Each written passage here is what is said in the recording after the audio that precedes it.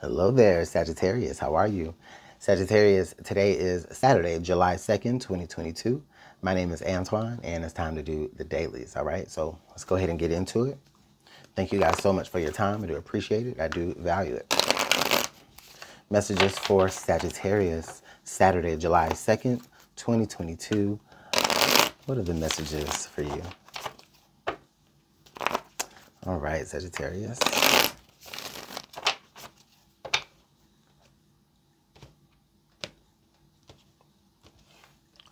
Okay, so you have the Hanged Man. Okay, you have the Ten of Pentacles, and then you have the Star.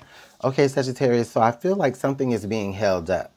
There's maybe like a blessing or like an inheritance or, um, you know, if it if it's money, it's like it's a blessing or an inheritance that's being held up. It is yours, right? And it is for you, but for whatever reason, it's being held up and today may be a day where you actually get news about that, uh, some good news about that. now, um, others of you, though, I just feel like there's a sense of longing that you're having for, you know, family or community or just even stability as a whole. Okay. And then today may be a day where you're having to just kind of take a look at yourself and just see, um, well, it's like you just want to examine yourself. You want to see if you're the problem first of all, with the hangman energy.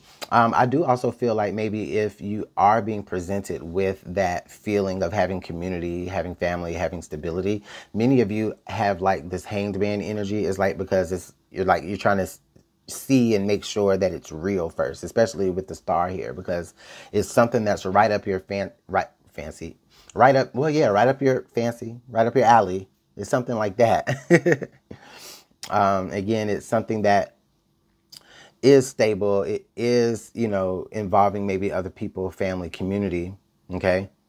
But the thing about it is, is that you want to make sure that it's legit before you join it, okay? So that's quite interesting. Um, also, this may be something to do with faith or religion with because I do feel like with the star card here there's a, an energy of faith.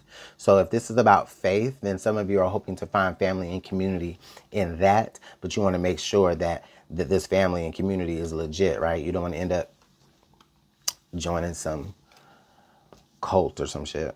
I mean, well, I mean, unless that's what you want to do.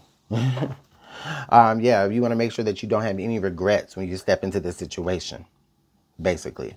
I don't think that you will. I do have the star card here, so it's telling me this is that this is really, you know, something that you would enjoy or something that you would like or something that you've always wanted. But when it presents itself, it's like you're just being extra cautious because, you know, you don't want to regret. All right, so that is your energy, Sagittarius. Let me know what's going on in the comment box below. Thank you so much for your time. Go ahead and like this video and subscribe to the channel if you haven't already. And I'll see you tomorrow. Bye.